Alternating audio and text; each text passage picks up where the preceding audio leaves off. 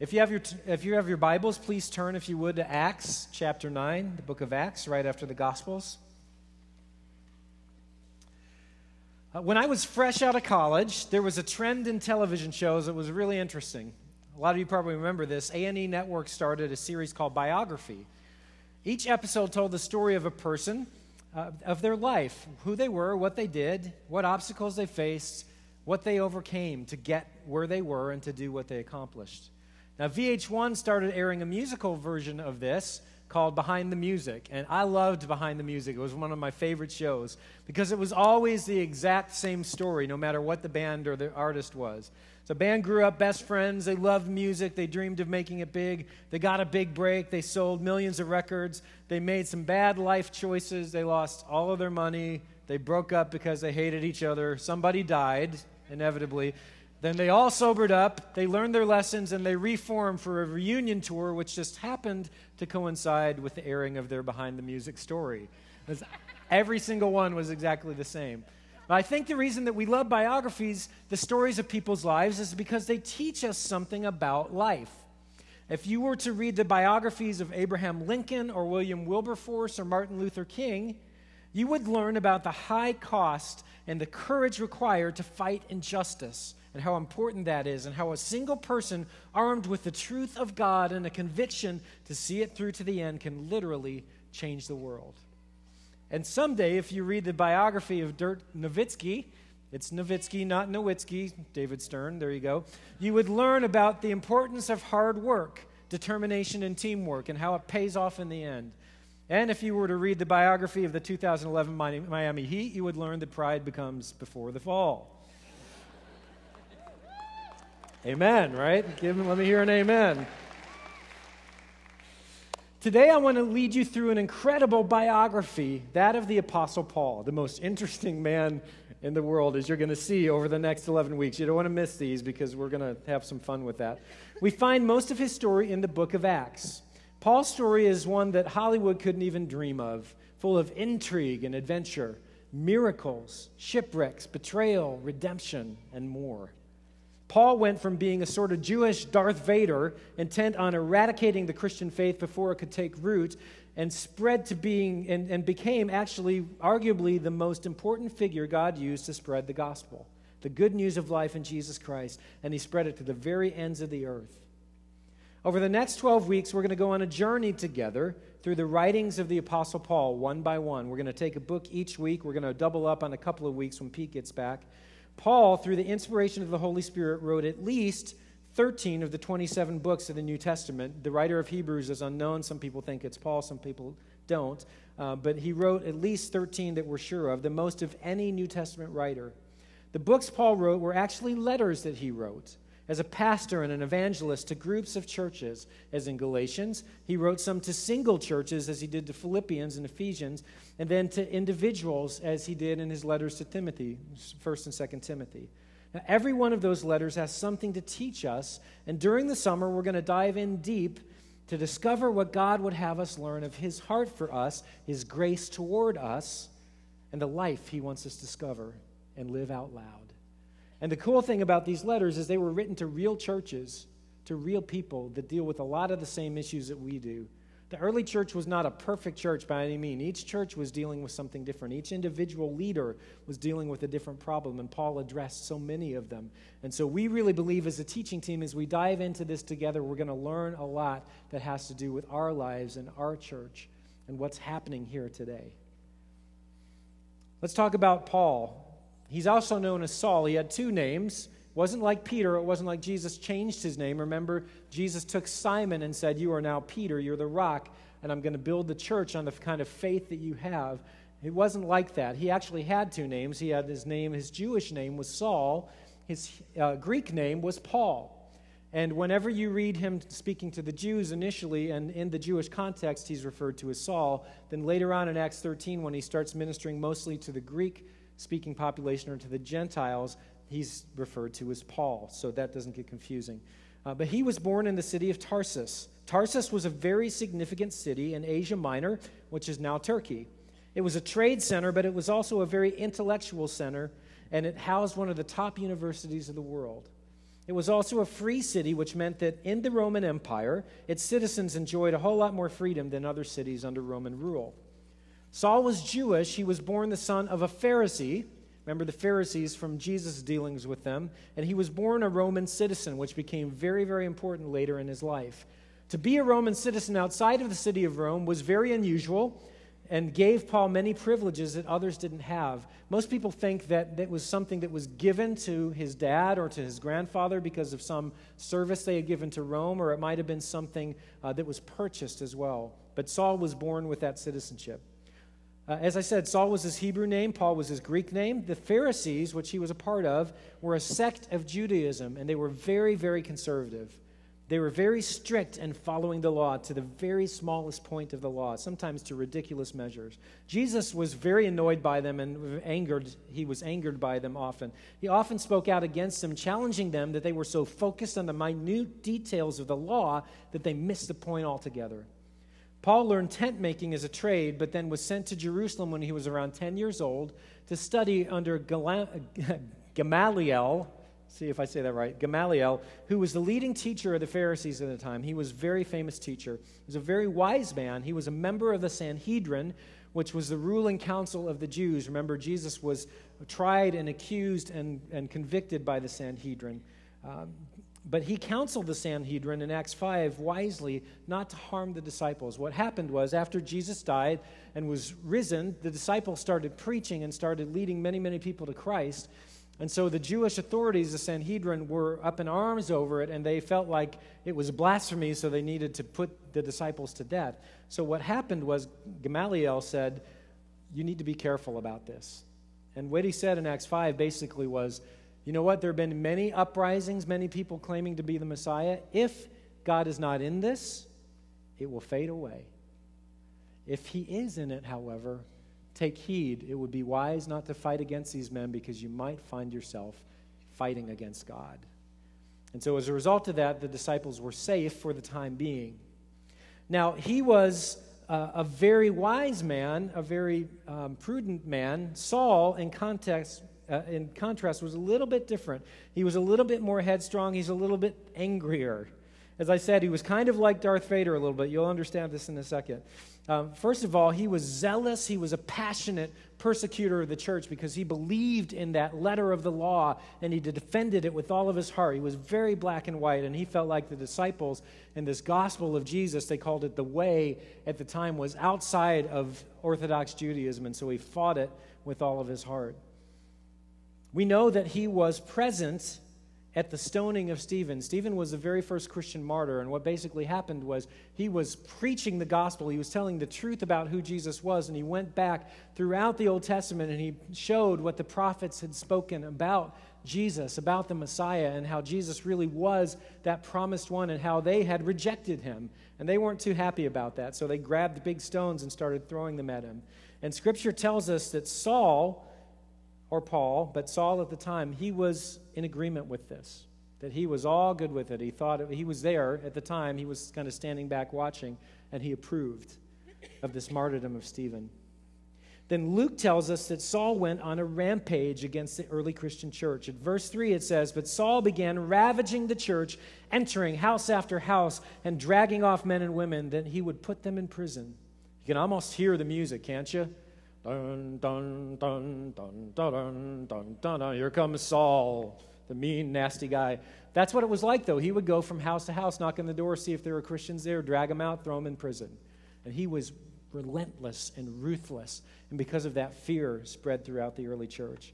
As a result, many Christians fled Jerusalem. They went into Samaria, which is a neighboring uh, which was part of the area, but it wasn't in Jerusalem, Judea, which was the surrounding area around Samaria, and then a city called Damascus in modern day Syria, which still stands today. And Saul wanted to go after them, so he went to the Sanhedrin and said, Can I go after him? Can I go up to Damascus? Let's read together now in Acts 9. And if you don't have your Bible, look up on the screen. We're going to read this together. Meanwhile, Saul was still breathing out murderous threats against the Lord's disciples. He went to the high priest and asked him for letters to the synagogues in Damascus, so that if he found any there who belonged to the way, or Christians, whether men or women, he might take them as prisoners to Jerusalem. As he neared Damascus on his journey, suddenly a light from heaven flashed around him. He fell to the ground and heard a voice say to him, Saul, Saul, why do you persecute me? Who are you, Lord? Saul asked. I am Jesus, whom you are persecuting, he replied. See, when God asked him, when he persecuted God, God asked him why, right? Remember from the video? That actually happened. Now get up and go into the city, and you will be told what you must do, Jesus said. The men traveling with Saul stood there speechless. They heard the sound but did not see anyone. Saul got up from the ground, but when he opened his eyes, he could see nothing. So they led him by the hand into Damascus. For three days he was blind and did not eat or drink anything.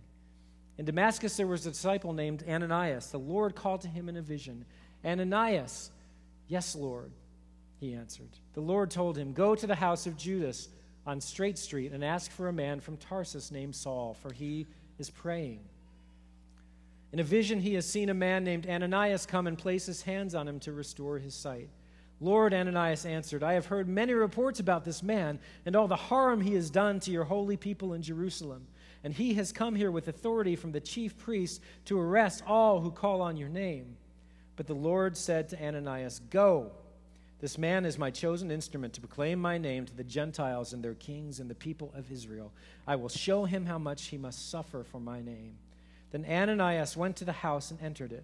Placing his hands on Saul, he said, Brother Saul, the Lord Jesus, who appeared to you on the road as you were coming here, has sent me so that you may see again and be filled with the Holy Spirit. Immediately, something like scales fell from Saul's eyes, and he could see again. He got up and was baptized, and after taking some food, he regained his strength.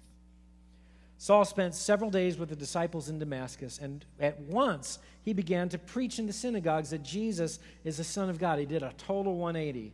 All those who heard him were astonished and asked, Isn't he the man who raised havoc in Jerusalem among those who call on this name? And hasn't he come here to take them as prisoners to the chief priests?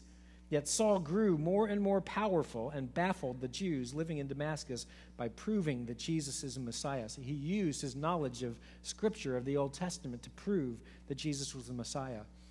After many days had gone by, there was a conspiracy among the Jews to kill him, but Saul learned of their plan. Day and night they kept close watch on the city gates in order to kill him, but his followers took him by night and lowered him in a basket through an opening in the wall. When he came to Jerusalem, he tried to join the disciples, so he's in Jerusalem now, but they were all afraid of him, not believing that he really was a disciple. But Barnabas, Barnabas is going to show up a little bit later, Barnabas took him and brought him to the, to the apostles. He told them how Saul on his journey had seen the Lord and that the Lord had spoken to him, and how in Damascus he had preached fearlessly in the name of Jesus. So Saul stayed with them and moved about freely in Jerusalem, speaking boldly in the name of the Lord. He talked and debated with the Hellenistic Jews. These were Greek speaking Jews, but they tried to kill him. When the believers learned of this, they took him down to Caesarea and sent him off to Tarsus. Caesarea is over on the coast. so They took him there for his safety and they sent him off to go home. So, we're going to learn some lessons from the life of Paul, just like we would learn from Martin Luther King or Dirk Nowitzki or the Miami Heat. We're going to learn three lessons today. The first one is nobody is beyond salvation. Can I hear an amen? Nobody is beyond salvation. It doesn't matter what you've done, God can transform your life and change you in an instant. Paul called himself the worst of sinners, the chief of sinners, because of what he did to persecute the early church. Blood was on his hands, and he knew it. But God loved him and went to extreme measures to reach him, forgive him, save him, and put him on a new path, one that would lead millions to life in Christ. So if you're sitting there and you go, You don't know what I've done, I don't know what you've done. You don't know what I've done. Right? The reality is there's nothing that you have done that puts you beyond the point of saving of Christ. The blood of Jesus covers every sin. It's true. Paul was an enemy of God, an enemy of the church, and God reached down and saved him anyway. So it doesn't matter what you've done. The grace of God can reach you and cover your sin and make you a new creation in Christ. So, my encouragement to you is if, you if, if that message is for you, can I ask you this morning to simply bow your head and ask God to take your life in His hands, to let what Jesus did on the cross for you be applied to your life, to your sin, and walk out of this place free and forgiven and new in Christ. He can do it. He will do it. Amen. So that's what happened to Paul. Darth Vader became Luke Skywalker, like that, basically, is what happened, all right? For a period of time, the church enjoyed peace and continued to grow. And one of the places it grew to was Antioch in Syria. It was about probably a half a day or a day's um, walk or traveling up into Syria and was fast becoming the second most important church in early Christianity. Now, they needed teachers, people who could explain and defend the gospel so that the, the new believers there could grow. The disciples in Jerusalem then sent Barnabas up to Antioch to see what was going on and to help out. And after seeing what God was doing there and the miraculous things that were happening, Barnabas decided he needed Paul. So he went to Tarsus who, to get his friend Saul, who had been there for four years. He had been learning, he had been teaching others, he'd been arguing in the synagogues, he'd been doing all the things that a teacher does. And so he brought him to Antioch. And together, he and Barnabas spent a year teaching the church there. Now, the Bible tells us that the followers of Jesus were first called Christians in Antioch. One day, while the leaders of the church in Antioch were praying, worshiping, and fasting, Scripture says in the book of Acts that the Holy Spirit spoke to them in the 13th chapter of Acts and said, Set apart for me Barnabas and Saul for the work to which I have called them. So then it says, The leaders of the church fasted and prayed again, laying hands on Saul and Barnabas, and sent them out to spread the gospel to the ends of the earth. So basically, what happened was they were doing the normal things that they did. They were praying, they were worshiping, they were fasting, they were, it says, ministering to the Lord. They were pouring their hearts out to Him, and they were probably teaching. They were basically being available to the Lord, and the Holy Spirit spoke to them. And they knew that they knew that they knew that they knew that it was the Spirit of God. It wasn't just some idea they had. They weren't sitting around going, How do we spread the church? Let's come up with a good church growth strategy. They weren't doing that. They were seeking after God, they were ministering to the Lord. And in the midst of that, the Holy Spirit spoke and said, These two guys right here, I have set them apart, I have called them. Here's the second lesson from the life of Paul. When the Holy Spirit says go, go. When the Holy Spirit says go, you go. Notice it said that the Holy Spirit was the one who spoke and who sent them. Paul was driven the rest of his life by the absolute knowledge that God Himself had commissioned him to spread the good news of Jesus to the uttermost parts of the earth. And that call defined the rest of Paul's life. Listen for God's voice intently, and if you feel Him leading you, test that leading against Scripture. See if it's, con- it's consistent. Then share it with trusted Christian friends. And if it's clear that it's God speaking, then you follow His leading with everything that you have. Everything that you have. Now, let me give you an example from my own life. Um, when I was in high school, I wanted to be a rock star. All right, I loved Billy Joel and Elton John and Aerosmith and all this. You know, I watched MTV when it was first starting. I'm giving my age away a little bit. Um, but I just, I wanted to be a rock star. I wanted to change the world. I wanted to make people happy. And so then I became a Christian. And so I wanted to become a Christian rock star. So I figured, well, I'll just direct it toward God, but I still want to be that rock star. And so I had my plans laid out. I was going to go from college to Nashville. I was going to get a job down there. I was going to get discovered, and I was going to do the whole Christian rock thing. And uh, just before I graduated, about February of my senior year of college, my friend Gary came up to me and said, Scott, I've been asked to help start a church in Indianapolis, and I want you to pray about going with me and being a music director and a worship leader there. And I just went, oh, because I knew I knew. I knew that I knew that I knew in my heart of hearts that God was saying, I want you to take your dreams and lay them on the altar. I want you to die to those things. I want you to follow me. I want you to give your life and your gifts to serving the local church. As long as I call you to, probably the rest of your life is what my sense was. And, you know, I had dreamed of singing in front of thousands of people and writing songs that would go all over the world and recording and, you know, having songs done and award shows and stuff like that's what I wanted to do. And God called me to serve the local church, to not be uh, about myself and my own career, but to be about building His church, His bride, His body. And I went and I followed Him. And I went from this little church in Indianapolis where we started with about 20 people.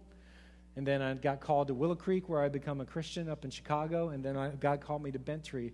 And here's the cool thing about it a few years ago, um, I just realized that something really cool happened when I come when I had come to Bent-Tree. Uh, a song that I had written for a communion service up at Willow Creek uh, was recorded by Rebecca St. James and Barlow Girl and actually was sung on the Dove Awards. And I got to go. And I was sitting there in the audience in the very back row. Nobody knew who I was, nobody knew that I had written that song.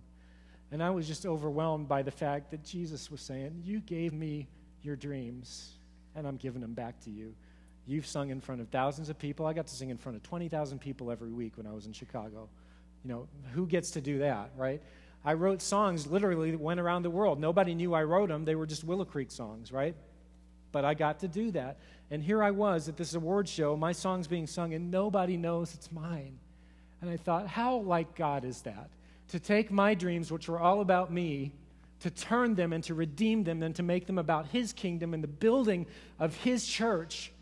And He still let me in on it. He still gave me what I wanted. He just gave it in a polished, redeemed way.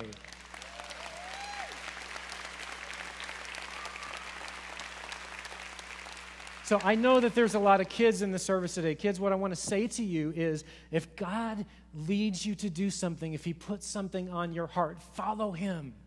He gives you dreams. It's great to follow your own dreams. There's nothing wrong with that. But if God puts a dream in your heart that's His dream for your life, you follow it with all your heart. If you know that you know that you know that it's what God wants you to do, whether it's going to the mission field or whether it's, you know, whatever it might be, going into ministry somewhere, or maybe it's going into a job that you know is going to put you into contact with non Christians. Maybe God's calling you to the entertainment world where there's not a whole lot of light. You know, whatever it might be that God calls you to, if you know in your heart and if the people around you that are believers affirm it, and if it's consistent with Scripture, you follow Him with all of your heart and let that calling guide your life. And you will never be disappointed because He will lead you on an adventure that is like nothing you've ever imagined. Amen? Amen. So that's what happened to Paul. God called him. He said, I have set you apart for a purpose, and it's building my church. It's taking my gospel to the ends of the, wor- the, ends of the earth. So God called, and Paul went. He followed. This begins what we call Paul's missionary journeys. There were three of them, plus there was a trip to Rome as well. Now, starting in mid July, all of you who are in elementary school are going to learn about what happened on those journeys through an exciting curriculum that we have called JUMP in our kids' ministry. Now, while you're learning about what Paul and his friends did, your parents are going to be learning from the letters that he wrote to the people in the churches that Paul started. So, you're going to be learning about the founding of those churches and some of the really amazing and miraculous things that happened. Your parents are going to be here learning about what Paul wrote as well. Can I encourage you, all of you families, to have great conversations this summer? Enter into this together because I think in learning as families that our faith is going to grow, that our bond in Christ, not only as families, but as brothers and sisters in Christ, is going to grow tremendously. So we're going to dive into God's Word together as a church in two different places and then come together and share what we've learned. Now, on the first missionary journey, Paul went to two places to an island called Cyprus and a region in southern Asia Minor, or Turkey, called Galatia. We'll put the map up on the screen, and you can actually see it here.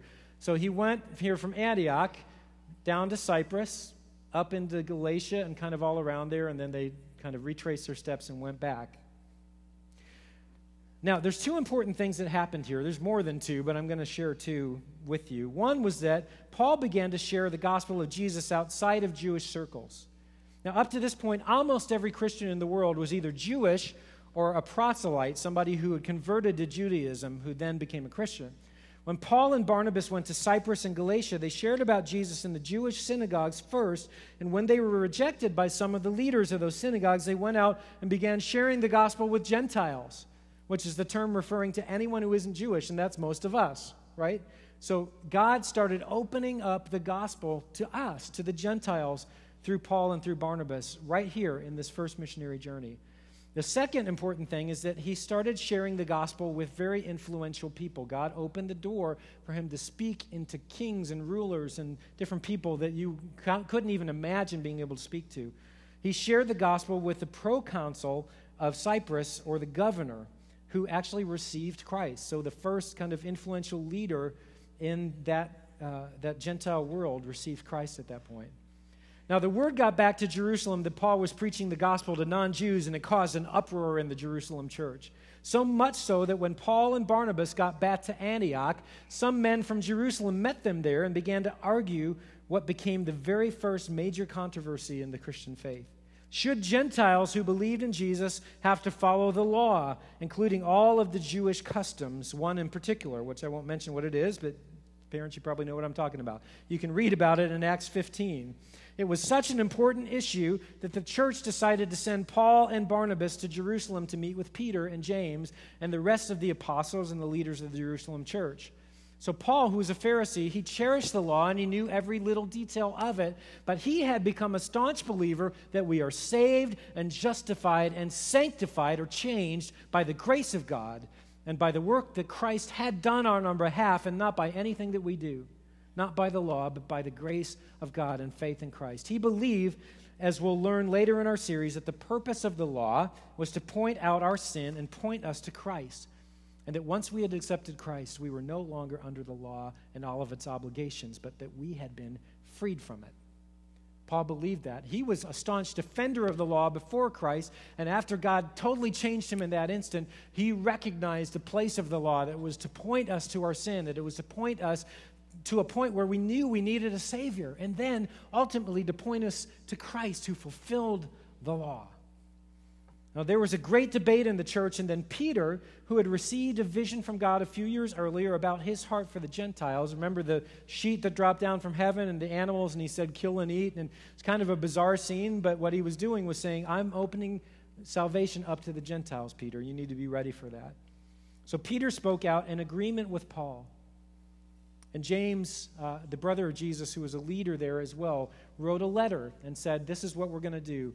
We are not going to put our Gentile brothers and sisters under the yoke of the law. There are a couple things we want them to do so they don't become a stumbling block to the Jewish believers, but they are free. They're not under the law anymore. So they sent Paul and Barnabas back to Antioch with a letter encouraging the church in the faith and reassuring them that they were not under the law. It was a great day for the church, friends because in that moment, God firmly established in the hearts and the minds of the early church that to experience full, abundant life in Christ, one needed only to, to receive the free gift of salvation through faith in Christ and then walk in His Spirit without the burden of laws and rules. Now, I'm adding a little bit to what the Jerusalem Council actually wrote in that letter, but this is what Paul wrote in many of his letters afterwards to the churches that he founded, what he wanted them to know about faith in Christ particularly in Galatians, the letter he wrote to the first churches he started in that journey. This leads us to the third and I believe most important lesson from the life of Paul. Please don't miss this. The lesson is this stand firm in the grace of God. Stand firm in the grace of God. Paul wrote in Galatians 5:1, "It is for freedom that Christ has set us free. Stand firm then and do not let yourselves be burdened again by a yoke of slavery. And he's talking about, when he talks about a yoke of slavery, he's talking about the law and all the things that you're supposed to do and the legalistic hoops that you're supposed to jump through that people would have you uh, be burdened by. He said, That's a yoke of slavery that you used to be under, but no more. Christ has set you free from that. It's for freedom that you were set free. Stand firm then, and do not let yourselves be burdened again by that yoke of slavery. Friends, how ironic is it that the very same battle that Paul fought most of his ministry life is often the same one that we find in ourselves today, right? I, I grew up with it. I grew up in a church that basically taught me to be a Christian was to be a good person and pray and read your Bible and don't kill anybody. And maybe on the day that you die, God will be in a good mood and you'll get into heaven. You can only hope. That's what I grew up with. That's not the gospel. It is not the gospel. It was laws. It was all the stuff that was, yeah, it's not. The gospel is this Jesus plus nothing. Jesus plus nothing. There's nothing we can do to add what Christ has already done for us. We don't live according to a set of rules and regulations. We live according to the Spirit and the Word of God, living, active, able to penetrate and separate. Jesus is alive. He lives in us. And He is all we need. And yet, churches and other believers would lay the burden of rules and law on your shoulders, a burden which no one is able to bear. Peter and Paul both said it. None of us can bear it. So, how can you expect them to bear it? It's not possible. That's why Jesus died. What Paul taught was the pure gospel that we must stand firm in the freedom that Christ died to usher us into. Not freedom to sin, that would be against the new nature he has created in us, but free to live in the Spirit, not according to the flesh or our own resources, but to be blazingly alive in Christ and to shine his light all around us as we surrender daily, moment by moment, to Him, allowing Him to live His life fully in us and through us. Stand firm in that, friends. That is the gospel. And let no one turn you away from the truth that you are a new creation in Christ. Your life is in Christ, not in a set of rules. Amen? Amen. Friends, that's really important to understand. It took me 10 years to figure it out till somebody sat down with me with Scripture and said, See what it says here in the book of Romans, which we're going to study next week. Says, All have sinned and fallen short of the glory of God, but the free gift of God is eternal life in Christ Jesus. It's not something you earn, it's not something that you hope for by living well. It's something that Christ gives you as a gift because he loves you. And it's something that you receive. And that change in you happens instantly, just like it did for Paul, going from Darth Vader to Luke Skywalker. I don't know you know, if you're Darth Vader or just a stormtrooper, but God can change you in an instant. Right? You don't have you don't have to live according to a set of rules. Jesus has paid the price. He's done it all. And he wants to usher you into life. Now, the entire rest of Paul's journeys and really the rest of his life followed a pattern. So I'm not going to teach you all that happened on the second and third missionary journeys and his journey to Rome. I'll tell you kind of the Cliffs Notes version. He would go and preach the gospel first to Jews, then to the Gentiles. Many would believe and find life in Christ, but those who could not let go of the law resisted the gospel of grace and sought to destroy Paul and the message he brought. I'd encourage you to, all to read the book of Acts from chapter 16 on. It's a great, like a great novel, basically. I've read it four or five times this week. I read it again last night, and it's riveting. I mean, it's got all the best things from like a John Grisham novel or something. There's law and trials and stonings and shipwrecks and all sorts of cool things. Paul cast out demons. He and Silas were thrown in jail. God rescued them with an earthquake, which led to the jailer and his whole family come to Christ. Paul shared the gospel on Mars Hill in Athens with the top religious thinkers of the day at the time. And he writes several books of the Bible while he's on his travels. He travels to Jerusalem. He gets arrested. He gets to share the gospel with two Roman governors and with King Herod Agrippa. And then, because of his Roman citizenship, he gets sent to Rome. On the way, he's shipwrecked, and because of his words in the midst of chaos, everyone on board survives. From Rome, the center of the world, at the time, Paul is able to spread the gospel to the ends of the earth, eventually, even here to Dallas. He didn't come himself, but the people who came to Christ through Paul eventually, we are the descendants of that message and those journeys. He is the most interesting man, besides Jesus, in the Bible. So, Paul, this former enemy of the church, was a man that God used to introduce us to life in Jesus Christ. As the teaching team has been talking and praying about this, our heart this summer has been that you would grow in the knowledge and grace of God, that you would know the freedom and life that Jesus has for you. Let's commit together to be here the next 11 weeks. If, you're, if you can't be here, if you're on vacation or something, please get the tapes or listen online to the podcast because we want to learn together as a church and grow and to dive in deeply to the truth that God has for us in His Word. Would you stand and let's close in prayer? Father, I thank you for this man, Paul, for the miraculous change that you brought about in his life. And I want to thank you for every person here who has um, reached out to you and cried out to you and believed in you. Because the reality is, every one of us has gone through that kind of transformation. Some just as dramatic as Paul, some not nearly as dramatic like me. Uh, but Father, you have changed us. In an instant, you brought us from death to life, from darkness to light.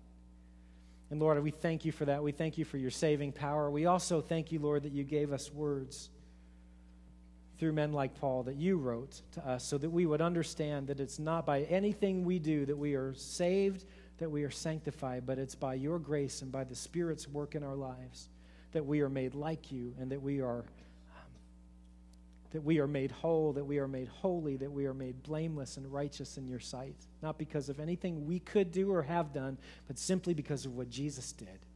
It is finished. Jesus said it himself. And so, Lord, may we as a church grow in our knowledge of your grace and of your love and of your freedom and of your mercy. And may we walk boldly in that. And may we learn to, to know what it really means to walk in surrender so that we can be used by you as your hands and feet in this community and in the world, Lord, to bring your light and your hope and your life everywhere that we go. We pray all this in Jesus' name. Amen.